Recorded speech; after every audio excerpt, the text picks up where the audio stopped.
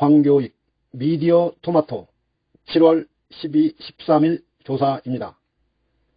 다시 투표하면 누구를 찍겠냐는 질문에 이재명이 50.3%가 나왔습니다. 윤석열은 35.3입니다. 윤석열에게 속았다는 사실을 스스로 인정하는 데에 시간이 좀 더 걸립니다. 찬바람이 살살 불 때이면 3.53도, 3.53%도 많다 할 것입니다. 20대 대선 다시 투표한다면 이재명 50.3, 윤석열 35.3, 심상정 4, 4%.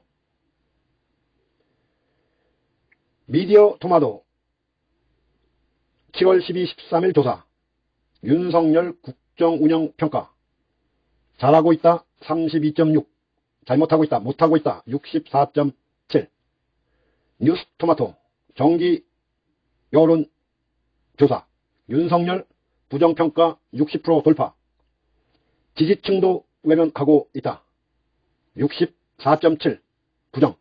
긍정. 32.6